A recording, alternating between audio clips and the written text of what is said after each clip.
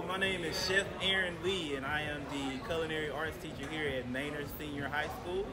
Here we teach our 11th and 12th grade scholars all about the industry of restaurant management.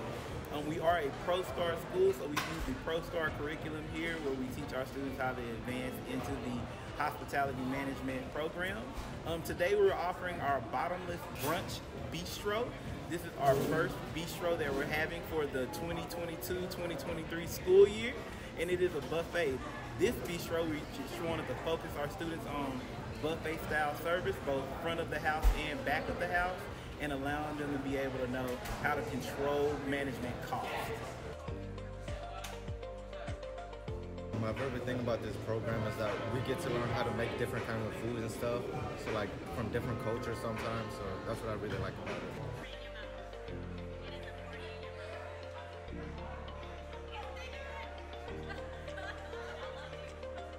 Everybody was assigned to different roles. Some people are hosts, like greeting people who come in through the doors. Some people are servers, giving people their food, and others were in the back cooking.